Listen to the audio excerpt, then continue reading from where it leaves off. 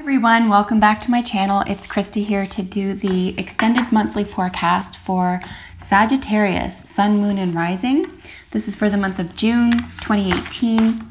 This is a general reading for your sign, so whatever is most prominent in your life, I encourage you to take these messages and apply them to, and I hope that you find them helpful and healing. So these are general messages for Sagittarius, Sun, Moon, and Rising signs for June 2018. What does Sagittarius need to know for June 2018? I am doing a different reading uh, spread today. I'm doing Secrets Revealed reading today. It's an eight card spread. We will use the bottom of the deck uh, for general energy for the month, but the bulk of the messages will be coming from the eight cards. And then, as always, I'll draw an additional card uh, for a message for you from the Oracle decks here. What does Sagittarius need to know for June 2018?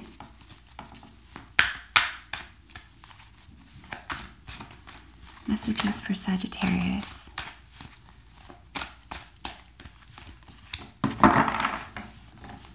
Messages for Sagittarius. Sun, Moon, and Rising. All right. I also want to thank everyone who has subscribed and liked and shared my videos. Thank you so much for your encouragement and your support.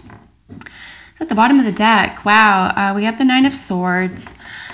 This is basically stating for the month of June that you may uh, be stressed out, stressing yourself out.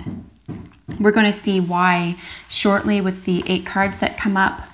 Um, the first four cards are going to speak to what is evident to you, what is probably already obvious or evident to you. And then the bottom row is what we're going to be looking at is what mystery needs to be revealed about these circumstances. How can we combat any upsetting or, um,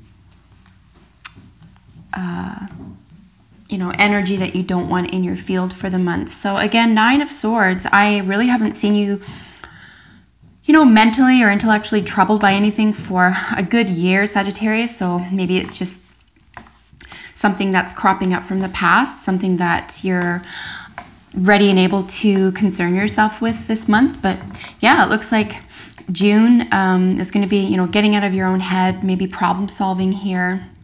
But this is a lot of internal torment, okay? Something that's, you know, you're trapped by um, not so much as the Eight of Swords, you know, feeling trapped, but not really being trapped. This is like, this is keeping you up at night, okay? So mm, just by looking at this before looking at any other cards, I can really tell you from the outset, you know, it might be a good month for you to convey your fears to somebody that you trust right now um, to help lighten that load. Let's get your eight cards out. I also want to mention that there's construction behind me, so if you hear that or some hammering, etc. It's not your imagination. There is a lot of construction uh, this week, probably for the next month. So hopefully it'll be over by the time I get to July's reading.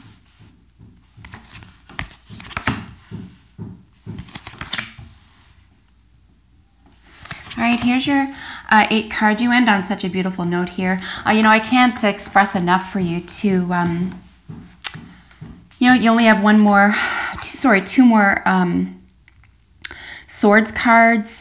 Um, there's a lot of relief coming your way. I see you maybe taking action here. I'm just getting a snapshot of what's going on here.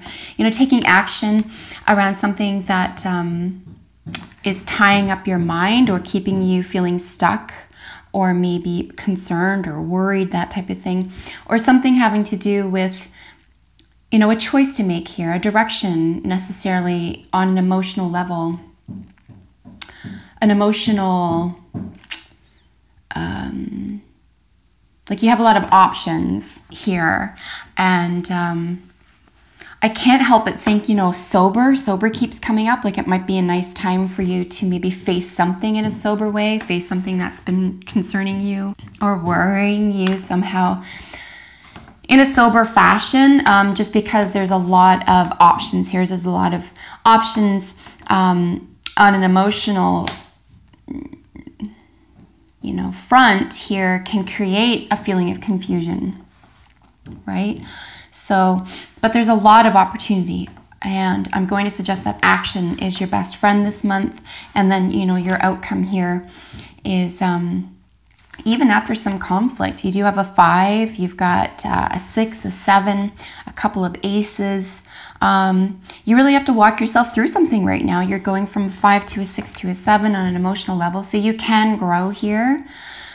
Um, very briefly, you know, fives are about conflict or adversity, sixes are about balance, of course, and then seven is not only magic, but it's about options, it's about um, um, assessing where you are. So it's a really nice month. I'm going to suggest as well for you to get out of your head, share your concerns, uh, problems, worries, even grief, um, fears, if I already hadn't said that uh, with a trusted person. And I think that you'll more easily walk away from something um, that doesn't serve you any longer. Even if it's a mind frame or a mindset, it doesn't have to be a relationship or a job. Uh, we do only have one pentacle here, uh, sorry, one pentacle suit here, so I don't really think that this has to do necessarily with your uh, work environment, um, unless it is your work environment and it has to do with your emotional um, uh, you know, feelings or the way that you feel emotionally within the work environment. Again, it is a general reading, so just use to your advantage whatever is going on in your environment. And then we have some more uh, cards having to do with the mind, uh, and then some action cards here. Right, and then this glorious sun at the end of it. So, you know, and I and I think as a trump card, right, like as a major arcana, uh, and I'm learning this through other tarot readers as well. It's like if you do have any upsetting cards um, in the environment, and you know, again, I would suggest at the bottom of the deck energy being the Nine of Swords. You know, that's a not a comfortable energy, right? The Page of Wands isn't necessarily a comfortable energy either. Um, seven of Cups may not even be comfortable, for example. Um, nothing else really would be uncomfortable. I think that the sun, right? Like if you have sun or judgment or even the star, uh, and really pretty much outside of you know the tower and the devil for example like and even those can be very uh, effective depending on what else is around you but because this reading features the sun for you as a major arcana, I'm going to suggest that the Nine of Swords is something that you can easily overcome. I, think, I just think by and large, you're going to have to face something that you've been putting aside and you're going to have to do it in a sober way. I don't mean that you have to, um, it doesn't look like there's addictions problems here. That's not what I'm talking about. It just looks like you have to, you know, decide to confront something and it could be like, this is what's this is what suggests to me, for example, that you're sort of looking for a way out and away from it. And it's almost like you can only run from this so long type thing. And Sagittarius,